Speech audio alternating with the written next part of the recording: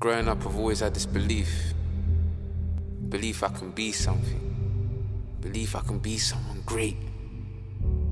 I've had down times, looked down on me, but the belief is what's got me. And as I walk through my city, well, things ain't great. Not much good comes from here. As I walk through the city of Lewisham, I'm representing for those who believe that it can't happen. But I want them to believe it can happen. For them to be great, great human beings, great entrepreneurs, great people.